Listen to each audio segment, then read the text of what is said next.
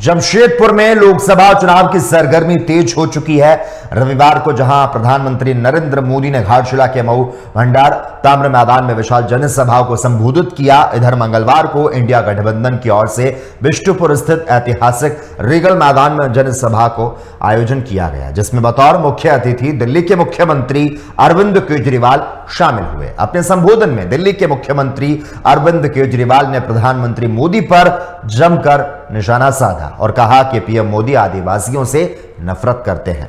यही वजह है कि राम मंदिर का उद्घाटन राष्ट्रपति द्रौपदी मुर्मू से नहीं कराया गया, क्योंकि वो आदिवासी थी। के सोशल मीडिया पे इनके कई भाषण सुने और मुझे ये लगा कि जिस मंशा से मोदी जी ने मेरे को और हेमंत सोरेन जी को जेल में डाला था।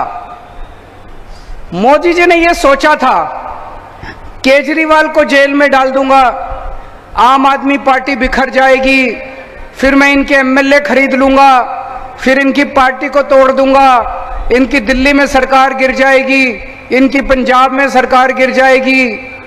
उसी तरह उनसे उन्होंने सोचा था कि मैं हेमंत सोरेन को गिरफ़्तार कर लूँगा, इनके एमएलए खरीद लूँगा झारखंड मुक्ति मोर्चा तोड़ दूँगा। इनकी सरकार की उल्टा हुआ भाई साहब। पूरा उल्टा हुआ। जो आदमी गलत काम करता है अल्टीमेटली एक ताकत है जिसे हम भगवान कहते हैं। भगवान देख रहा है। दिल्ली के अंदर पार्टी के बिखरने की बजाय आम आदमी पार्टी एक परिवार की तरह एक साथ इतनी एकजुट हो गई। हमारे सारे एमएलए सारे सांसद, सारे काउंसलर जितने पार्टी के पदाधिकारी थे, सब एकजुट हो गए और डबल मेहनत के साथ मोदी जी को हराने में काम करने जुट गए। हमारी जनता पार्टी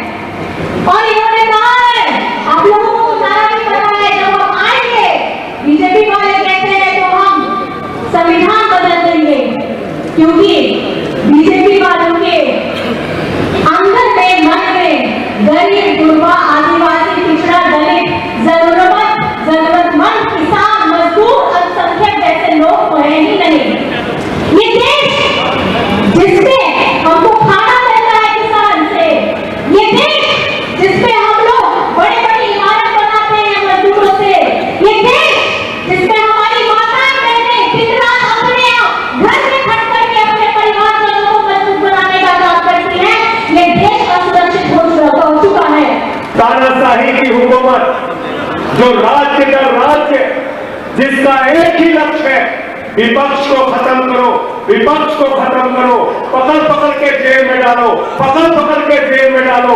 मैं मोदी जी से कहना चाहता हूँ हम सबको जेल में डाल दोगे?